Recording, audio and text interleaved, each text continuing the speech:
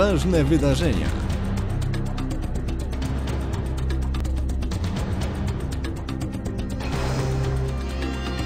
Ważne spotkania.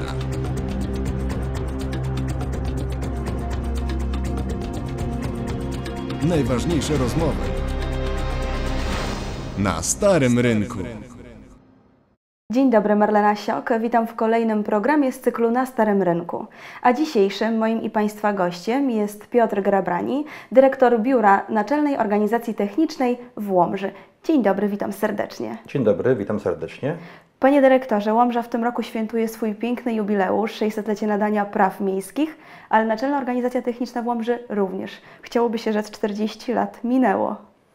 Tak, e, to tak jak e, w 40-latku, No można właśnie. by powiedzieć, e, który moje pokolenie e, oglądało. Pani e, z opowiadań pewno zna, że Dokładnie. taki e, serial w Polsce leciał przez długie lata z Andrzejem Kopiczyńskim w roli głównej. Tak, Notowi szczeliło już 40 lat. I chcemy się tą okazją wpisać w wydarzenia, które mają miejsce w tym roku w Łomży w ramach 600-lecia miasta Łomża. Mhm. Dla człowieka te 40 lat to jest bardzo dobry wiek, bo jest on e, bogaty w doświadczenia i wiedzę, ale jednocześnie pełen takiej witalności do działania. A co jeśli chodzi o Naczelną Organizację Techniczną? Czy ona przez te 40 lat zdobyła to doświadczenie, żeby właśnie już wiedzieć, jakie projekty się sprawdzają, e, jak można rozwijać gospodarczo i społecznie Łomże? Tak, to dobry moment, w którym y, można jeszcze y, wiele zrobić, prawda? Y, Patrząc na y, człowieka, to dopiero jakby zaczyna y, swoją y, aktywność y, zawodową, ale jeszcze jest w bardzo dobrej y, kondycji y, fizycznej. Myślę, że z Naczelną Organizacją Techniczną jest podobnie. Y, Nie straciliśmy y, tych 400 lat, nie zmarnowaliśmy. Y, Dużo się zadziało w kwestii tego, co Naczelna Organizacja Techniczna robi najlepiej, czyli służy inżynierom, technikom lokalnej społeczności, byłemu województwu łomżyńskiemu w zakresie kursów i szkoleń wszelkiego rodzaju, konferencji, seminariów. Y, Tego było y, tak dużo, że trudno tutaj y, wymieniać. Mam nadzieję, że wiele osób, wiele instytucji, wielu przedsiębiorców zna nas, korzysta z naszych usług i ciągle jesteśmy aktywni. A czy w Łomży jest jeszcze co robić, jeśli właśnie chodzi o rozwój ten gospodarczy i społeczny? Jest, jest oczywiście dużo do zrobienia, bo no, świat jest bardzo dynamiczny. Ta innowacyjność i nowe technologie, prawda, które również y, wkraczają y, na nasze y, tereny, y, to y, jest to dobra pożywka dla y, naszej działalności. Jesteśmy y, aktywni w zakresie takich podstawowych szkoleń y, komercyjnych, za które y, wszyscy płacą, prawda, ale y, ogromną popularnością od wielu lat y, cieszą się y, różnego rodzaju kursy, y, szkolenia, y, które są y, pokrywane ze środków y, unijnych. Y, Takich projektów y, od kilkunastu lat zrealizowaliśmy y, już y, kilkanaście. Y, Realizujemy dzisiaj y, kolejne, o których y, pewno jeszcze kilka słów y, powiemy.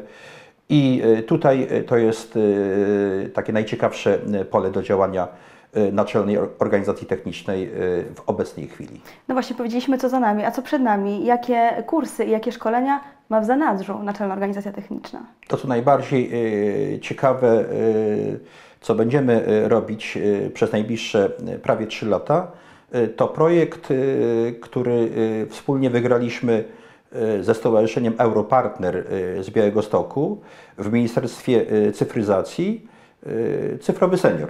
Tak go ładnie nazwaliśmy. Y, To jest y, projekt dla osób, które chcą zdobyć y, wiedzę nie tylko w obsłudze komputera, ale i tabletu, smartfonu, poznać różnego rodzaju oprogramowania, internet, pocztę elektroniczną, Facebook, YouTube, Skype, wszystko to, co dzisiaj dla młodzieży jest no, chlebem powszednim. Dla pokolenia starszego y, niestety y, w tamtych latach y, ten rozwój jeszcze nie był tak intensywny jak obecnie. Po prostu tego nie było. Ale widzimy, że seniorzy są coraz bardziej aktywni w Łomży. E, Tak, tak, i my też chcemy się e, tym projektem e, włączyć, e, przybliżając e, te narzędzia e, pracy e, seniorom. I e, od jesieni rozpoczną się w małych grupach e, szkolenia. E, W całym województwie projekt będzie e, realizowany aż do e, lutego e, 2021 roku. Miasto Łomża zgłosiło e, 10 grup e, 10-osobowych. W takich grupach będą się odbywały zajęcia. I oczywiście nie tylko poprzez miasto, ale mogą się seniorzy zgłaszać osobiście do Naczelnej Organizacji Technicznej w Domu Technika Polowa 45, drugie piętro, pokój 208 i tam e, przyjmujemy e, zgłoszenia i tak jak powiedziałem, jesienią z tymi szkoleniami będziemy ruszać. Czyli Naczelna Organizacja Techniczna chce e, ucyfryzować prawie 100 seniorów. Yy, No, prawie 100 tylko w Łomży.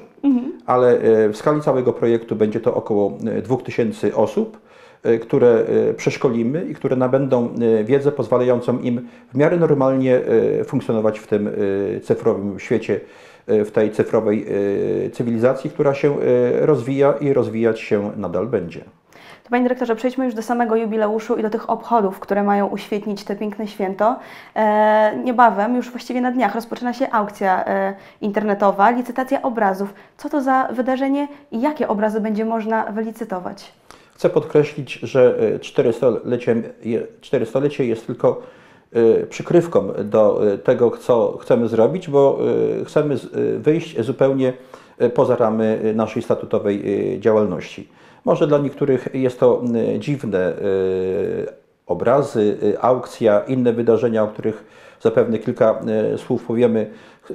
Postanowiliśmy kilka miesięcy temu włączyć się w działania w obchody 600-lecia e, miasta Łomży i zapropo- zaproponować pewne wydarzenia, które wpiszą się e, w działania pozastatutowe, e, kulturalne, oświatowe dla mieszkańców Łomży i okolicznych powiatów w terenie, w którym od e, 400 lat działa Naczelna Organ- Organizacja Techniczna w Łomży.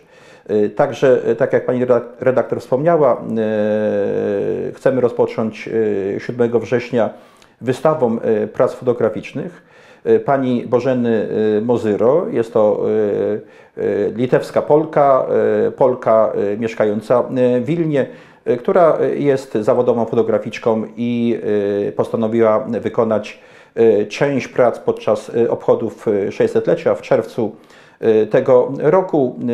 Te prace w najbliższych dniach przyjadą do Łomży i od 7 e, będą wystawiane w galerii pod arkadami przy Starym e, Rynku. E, Pozostałe prace w ilości 16 sztuk to obrazy, piękne obrazy z terenu Wilna i, i okolic. Razem będzie ich e, 50 w galerii. I prace te będą przedmiotem aukcji, która zostanie zainaugurowana 27 e, sierpnia o godzinie e, 12, czyli e, w samo południe. E, Pracę e, będzie można e, kupić na aukcji internetowej e, na stronie e, Naczelnej Organizacji Technicznej notlomza.pl jest podstrona pod hasłem e, aukcja i tam e, po zarejestrowaniu się będzie można e, licytować te obrazy. Cena wywo- wywoławcza jest bardzo skromna. E, Jest to koszt pokrycia tylko zakupu obrazów, wykonania ich, bo Naczelna Organizacja Techniczna staje się właścicielem tych obrazów, ponieważ pieniądze z aukcji mają swój szczytny cel. Chcemy je przekazać na budowę hospicjum Wilnie, e, hospicjum, które e, prowadzi siostra Michaela, znana już w łomżyńskim środowisku, która zresztą, mam taką nadzieję, przyjedzie 27 e, sierpnia i dokona osobiście kliknięcia.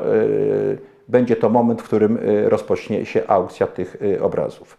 Jako, że cel jest szczytny, to chcielibyśmy zebrać jak najwięcej e, środków, ponieważ E, Poza tym, że siostra Michaela jest fantastyczną osobą i niezmiernie dynamiczną i działającą nie tylko na Litwie, w Wilnie, nie tylko w Polsce, ale i, w całej Europie, jeżeli chodzi o budowę tego hospicjum dla dzieci chorych na raka to e, Naczelna Organizacja Techniczna e, postanowiła się e, swoją cząstką, swoim okruszkiem w te działania wpisać i stąd obrazy zakupimy ze swoich e, środków, natomiast wszystkie datki e, w ten sposób e, zebrane przekażemy na budowę tego hospicjum. No właśnie, cel ba- bardzo szczytny, wsparcie hospicjum e, na Wilnie. A czy w takiej codziennej działalności jest miejsce na wyjście poza takie pragmatyczne myślenie? No, staramy się. Y, Inżynier, inżynierowie i technicy często e, myślą e, zero-jedynkowo. To są bardzo konkretni ludzie. A tu jednak ideały, wyższe cele, prawda? Tak jest. Całe szczęście, że mają dyrektora humanistę. E, W związku z tym nieraz e, e, próbuję im trochę namieszać, trochę działać niekonwencjonalnie, ale chcę bardzo podkreślić, że cała inicjatywa tych wydarzeń, które planujemy, to jest to głównie za przyczyną obecnego prezesa Łomżyńskiej Rady, pana Bogdana Laskowskiego. To on e, 10 lat temu e, remontował pomieszczenia w Wilnie, w którym mieści się hospicjum dla osób dorosłych. I to on od wielu lat utrzymuje kontakty z siostrą Michaelą i to była jego inicjatywa, żeby Łomżyńska Rada e, podjęła takie wyzwanie, a ja mu tylko e, w tym pomagam.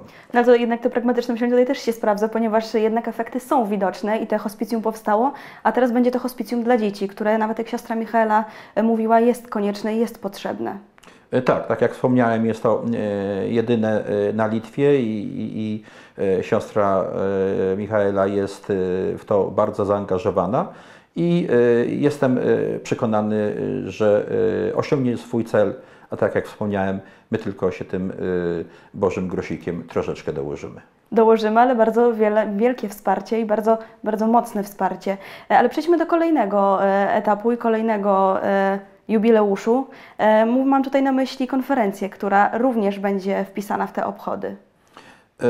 Tak, oprócz wystawy, tu pragnę podkreślić, bo już mamy oficjalną decyzję, to jest e, dla nas e, bardzo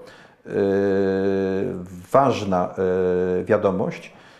Pani prezydentowa, żona prezydenta RP, pani Agata Konhauser-Duda, objęła e, swoim patronatem e, wystawę, z czego się bardzo cieszymy, bo mam nadzieję, że to doda pewnego smaku i splendoru tej wystawie. I, i, i pragnę podkreślić, mówiąc o naszym wkładzie, to oczywiście mam na myśli wkład ludzi mieszkających w Łomży, w województwie podlaskim, ale wszystkich, którzy zdecydują się dokonać zakupu tych obrazów, bo e, my tylko jakby próbujemy to skoordynować, zorganizować, ale to e, będzie wkład e, społeczeństwa ziemi łomżyńskiej, województwa podlaskiego, a może i wszystkich innych, przecież internet dociera do każdego zakątka i mogą to być ludzie daleko z Polski, a nawet i z zagranicy. Także liczymy na ich wsparcie, a my to po prostu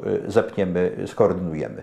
Przechodząc do drugiego wydarzenia, 28 września organizujemy e, pod e, patronatem prezydenta miasta e, Łomży konferencję naukowo-techniczną, która ma pokazać wkład, wkład władz miasta Łomży, a w tym i orga- organizacji, Naczelnej Organizacji Technicznej w rozwój gospodarczy e, miasta e, Łomża.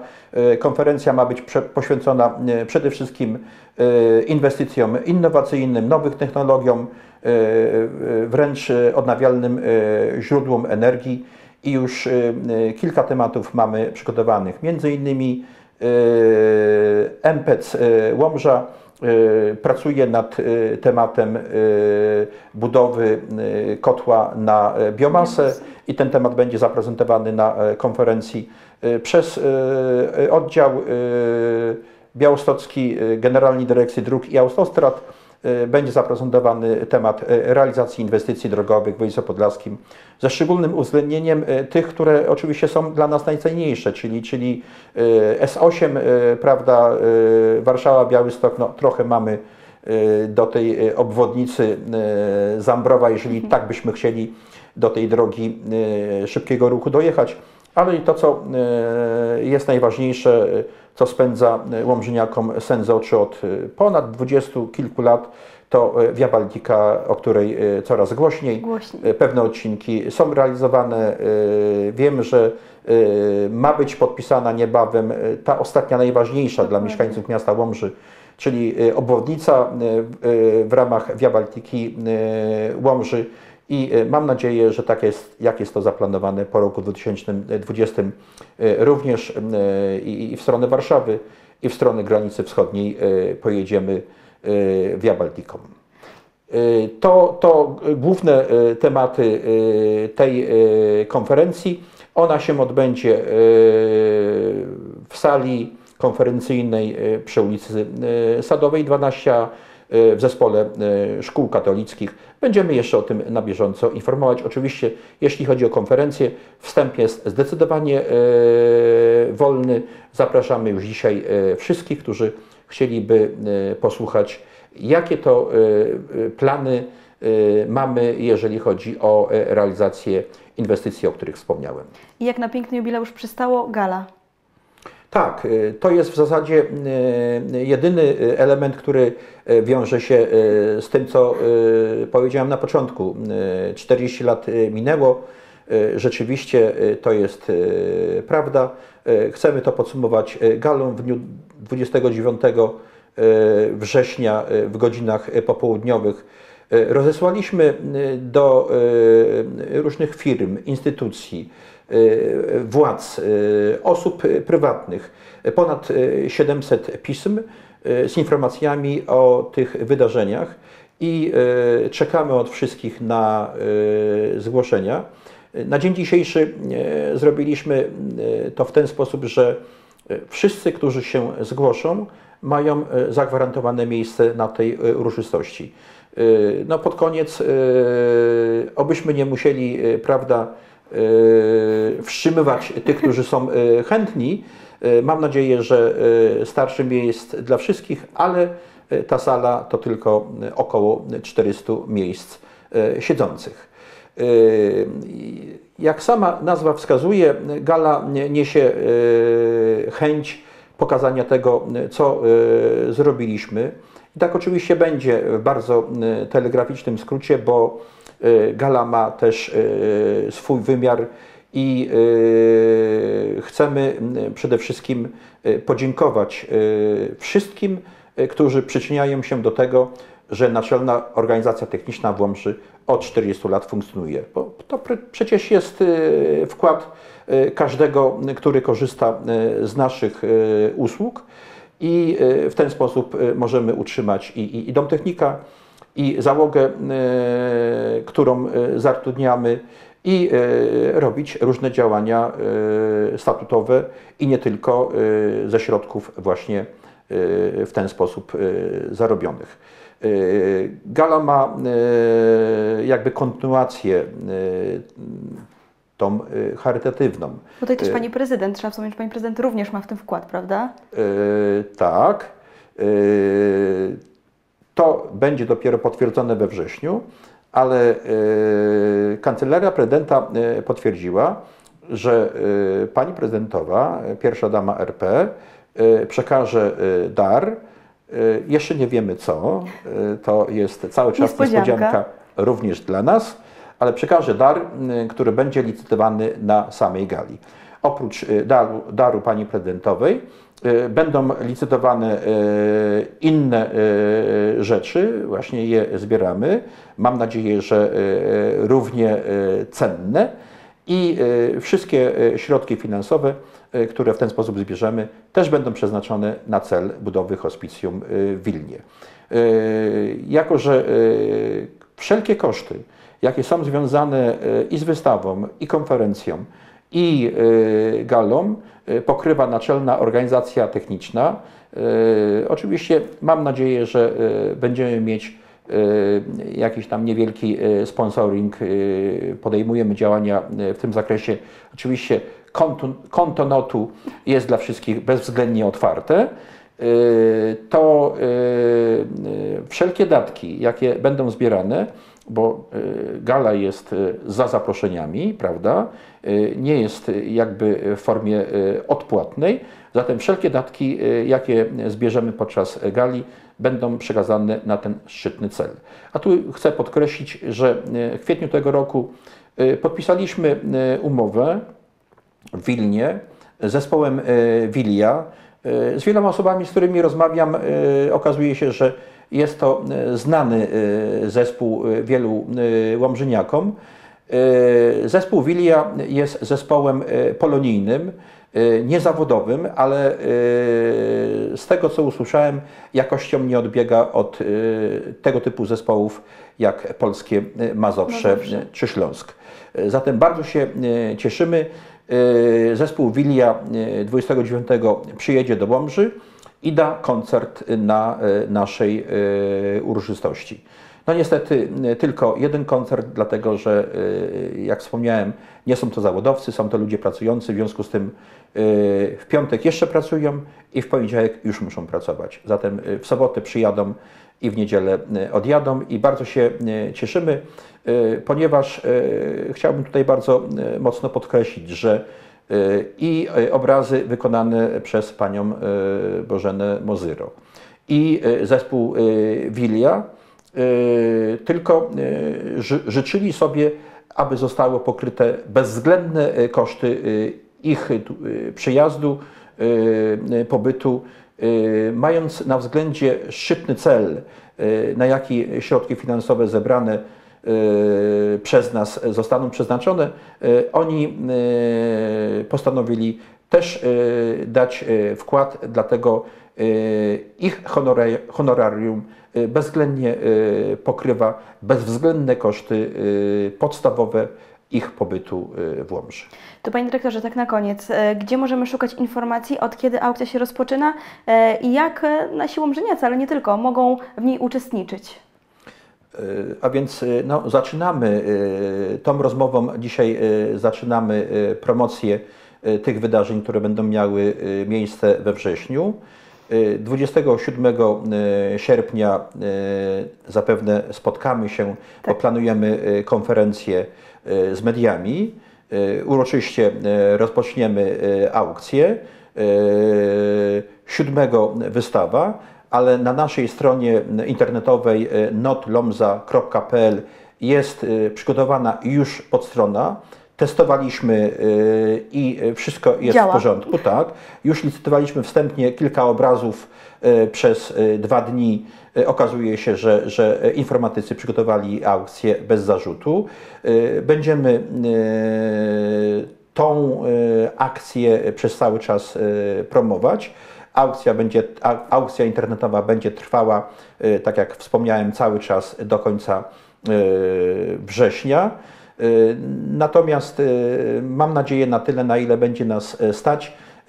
Medialnie wypromujemy wszystkie wydarzenia, które będą miały miejsce we wrześniu tego roku w ramach 400-lecia e, m- e, Naczelnej Organizacji Technicznej, ale pod auspicjami e, 600-lecia e, miasta Łomża. Czyli od 27 e, sierpnia wchodzimy na not.lomża.pl i licytujemy obrazy. Od godziny 12. Od godziny 12. Tak jest. I tym optymistycznym akcentem bardzo serdecznie dziękuję za spotkanie i za rozmowę.